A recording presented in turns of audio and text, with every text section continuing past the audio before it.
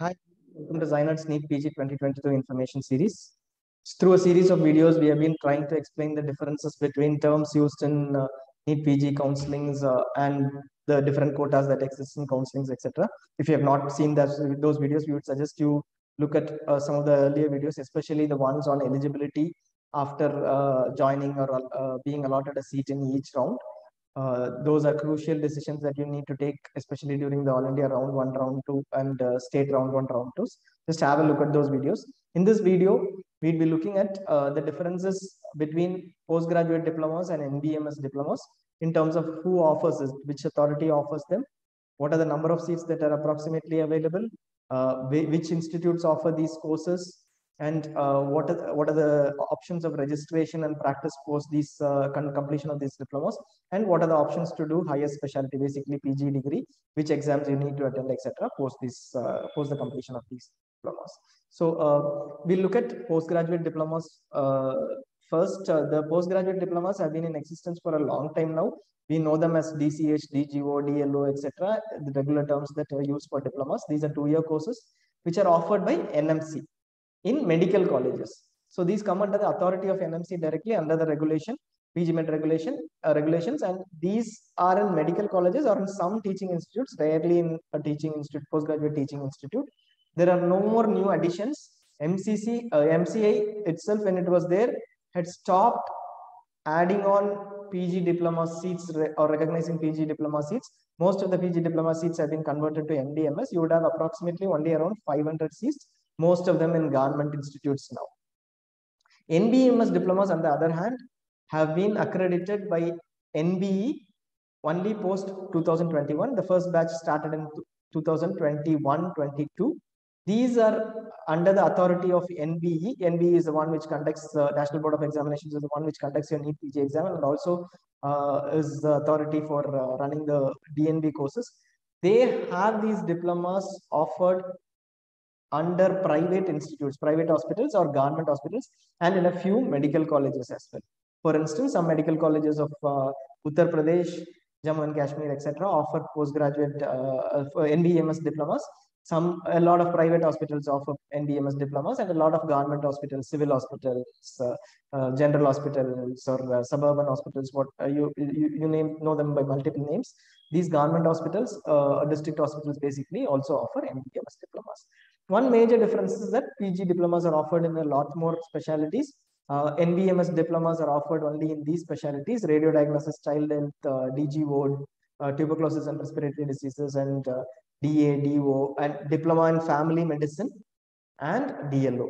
Now, uh, what is the recognition status? Postgraduate diplomas coming under the authority of NMC are recognized. Most of the postgraduate diplomas would be recognized by now because since last four years, no diploma has been uh, uh, permitted most of the diplomas should be recognized. If a diploma is still not recognized or permitted, there is a cause for concern. Look at that institute and the diploma and then take a decision.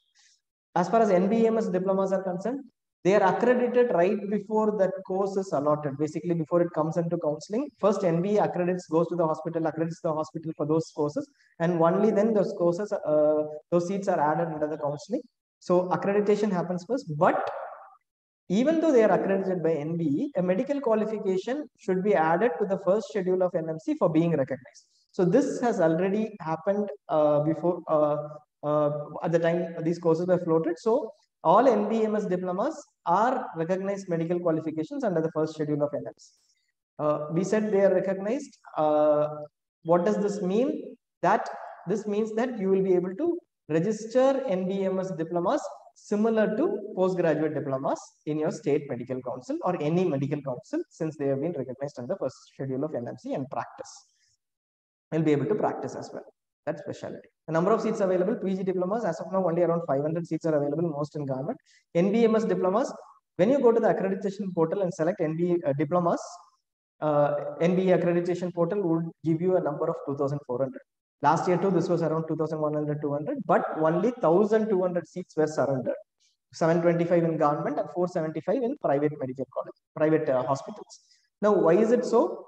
Uh, uh, an institute may be accredited for five D NBMS diplomas, let's say in DCH, but the institute always has the liberty to surrender less than five for a particular session. So, for this academic session, they may be surrendering three diplomas only, even though they have five. This happens every year with DNB as well. So don't expect the exact number of seats as in the NBE portal to be available for you in terms of uh, seats for all India counseling. Uh, you this this will be a lot lesser than the actual seats surrendered will be a lot lesser. The course period is two years in both cases. Uh, the specialities, uh, like we said, all diploma specialities are, are available uh, except for possibly general surgery, general medicine. Uh, every other specialty has a diploma in most of the cases. And NBEMS diplomas, uh, there are only eight of eight specialities under which NBEMS diplomas are offered. Exams, postgraduate diplomas, exams are by the same university. Like you will be studying it in a medical college, and therefore, whichever institute you are undergoing uh, the course from uh, is affiliated to a university, and the university conducts your exams. NBEMS diplomas, uh, for NBEMS diplomas, the exams are conducted by NBE, like it happens for DNB. Are you eligible for post graduation? Uh, yes, two options exist. One through DNB PDCET you can write DNB post diploma common entrance test. Now this post diploma common entrance test is for taking a DNB course. This is a separate exam other than NEET PG. You write after you complete your postgraduate diploma, you write this DNB PDCET and there are separate seats offered for those who have complete, completed post PG diplomas. Now this set of seats you can avail by writing the DNB PDCET exam the competition is a little lesser than NEET PG. In fact, uh, it is not a little, it is uh, very much less compared to NEET PG. Uh, and you will be able to take a DNB course. The DNB course you pursue after writing DNB PDCET is only for two years. So you would have completed two years diploma and then you write DNB PDCET, do another two years and get your DNB degree, which is equivalent to MDMS. NBMS diplomas exactly the same. Exactly like postgraduate diplomas, you will also be eligible for DNB PDCET and you can opt for secondary DNB seats, do the course for two years and get a DNB degree. Eligibility for MDMS, yes, if an everybody is eligible for MDMS, including somebody who has got a postgraduate diploma. If the MDMS is in the same specialty, then the course period is two years. Take it as course period is two years here. There's some mistake. The course period is two years. Same should be also possible for NBEMS diplomas. After an NBEMS diploma, they should be able to pursue MDMS in the same specialty and it should be for two years. But till now, there is no rule regarding this unless someone takes this up and a batch passes out, which will only happen next year in 2023, and somebody applies for MDMS and then the question comes out on uh, whether it is two years or uh, three years if it is the same specialty we would not have any actual uh, example to uh, assure anyone. So as of now it should be the same but no assurance on that. Whatever it is you will be anyways able to be able to do dnb pdset there is no confusion in that. You can get a dnb secondary dnb degree. Here the only confusion is whether it is two years or three years. It should be two years I think. Fee as far as PG diploma's fee is concerned, it is almost like your MDMS. It depends on the institute, whether it is government institute or private institute or deemed. Uh, there are around 10 seats or so in deemed institutes, 10 diploma seats and still in deemed institutes. So the, the fee structure depends on the institute. NBMS diplomas, the fee structure is standard. It is 1.475 lakhs per annum, whether it is a government institute, whether it is a private institute. The fee structure is standard at 1.475 lakhs per annum. Same as DNB courses, you will be paying for two years. Uh, you will be paying 1.475 lakhs per year for two years. Stipend, the stipend varies across institute. It may be a, if it is a government institute, government guidelines are followed. If it is a private institute, uh, private institutes guidelines are followed for stipend as far as PG diplomas are concerned. But in the NBM, in NBMS diplomas also, it varies as per institute. But the only thing is this stipend will be equal to or greater than the government offered stipend. The basic stipend offered by the government has to be offered by the institute.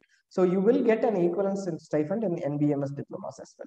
The last, uh, another most important point, point is on the bond.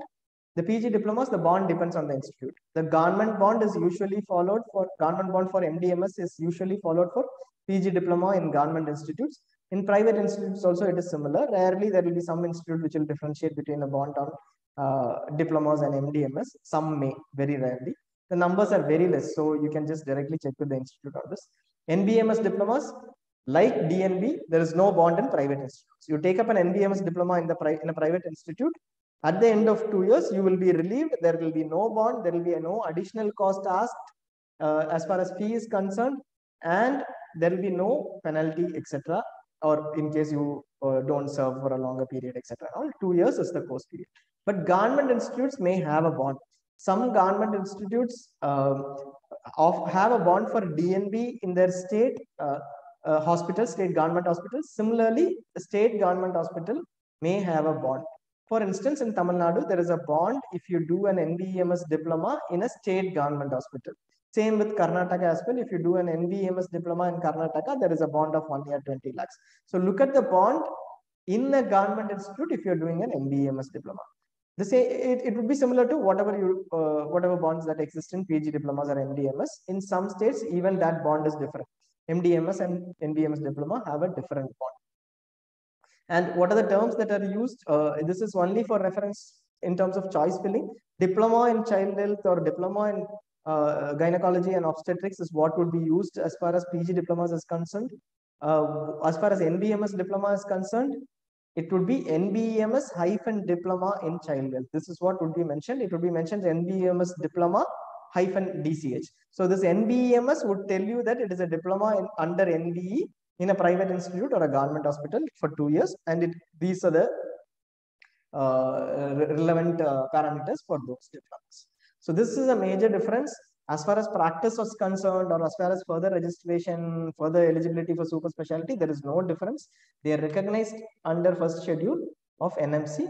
And so as long as the institute is good, you are aware of the institute, maybe a government institute with high close caseload, etc. And you have a favorable bond in that institute or you're okay with serving the bond. You can as well go with NBMS diplomas if and you have an option of doing a post graduation post that a, through a secondary DNB or an MDMS, MDS, MS as well after this diploma. And you can practice anyways. So uh, hope this video was helpful for you to understand what NBMS diplomas are.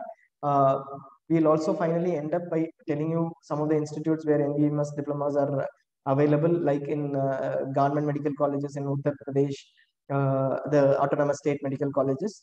Uh, there are uh, civil hospitals in Rajasthan, civil uh, government hospitals in uh, in the state of government medical colleges in the state of Jammu and Kashmir, civil hospitals in district hospitals in Karnataka, Tamil Nadu, Uttar Pradesh, West Bengal a lot of hospitals have it in addition to the whole set of private hospitals which have come up with NBMS diplomas this year. There are a whole set of good hospitals too which have come up with NBMS diplomas starting last year.